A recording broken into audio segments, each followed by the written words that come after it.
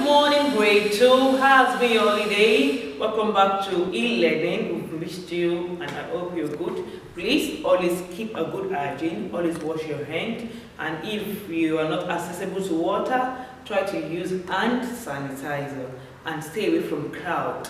Be careful, stay away from people that cough, sneeze and others. And I know with time, you'll be back to school. I miss it so much, we miss it so much. Okay, today we'll be talking about predators and prey. Predator and prey. Our last topic was about food chain.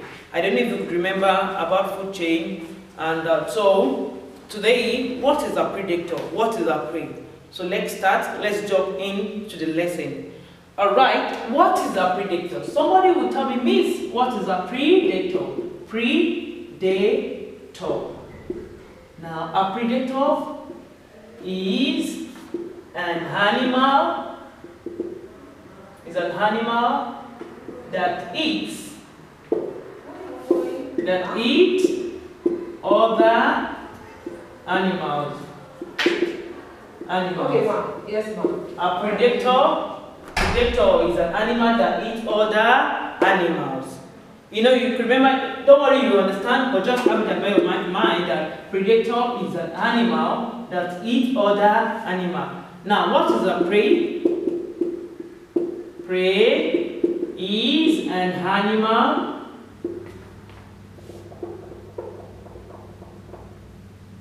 Prey is an animal that is that is being eaten.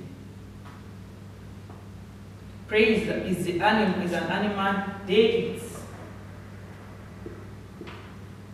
They eat. Maybe it's that way. So you can understand, prey is an animal they eat. Predator is an animal that eats other animals. Prey is an animal they eat. Now, let's look at this food chain. I told you most of the food chain starts from the sun. Okay, let me let me write it so that you can see it. It's so easy and simple. Once you understand the food chain, you will understand this. You really understand this. I told you most of the food chain starts from where? The sun. Grasses.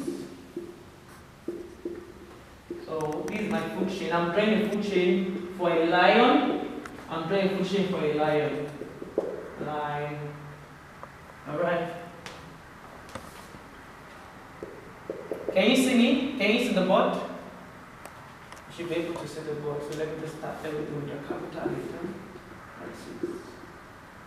Alright. Grasses get their energy from what? From the sun. Energy.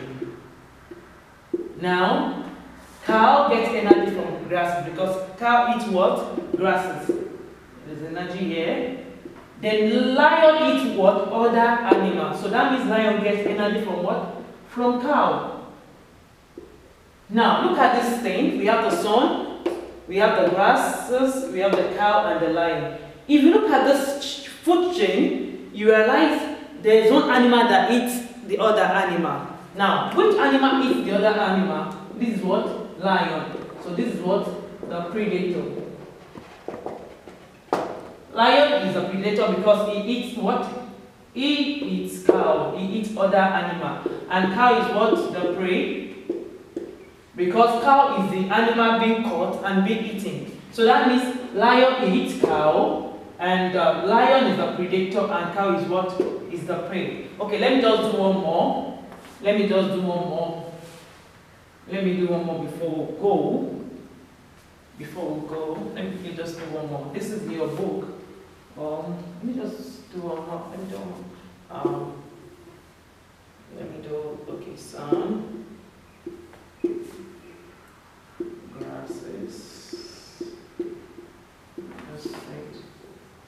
you're going to draw your own food chain.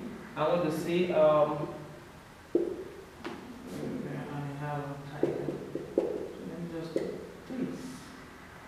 Um, okay. Let's do this up too. We have the sun. I told you most of the food chain start with what? The sun. Grasses get energy from what? The sun. Goats get energy from the grasses. Tiger gets energy from what? From the goat. Now look at the, this again. Goat and the tiger. Tiger eats goat. So tiger is what? the predator, and goat is what? The prey.